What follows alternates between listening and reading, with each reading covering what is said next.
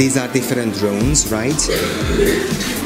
That one is a speedy car, runs 20 kilometer per hour, a lot faster than any one of us. Mhm.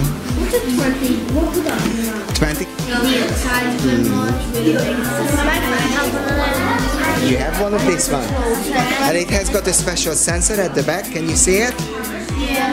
It can keep the distance, so it goes up automatically and it stays in the air. Makes it a lot easier. That one runs like a car if you want to on its wheels, and also it can lift up. It can elevate.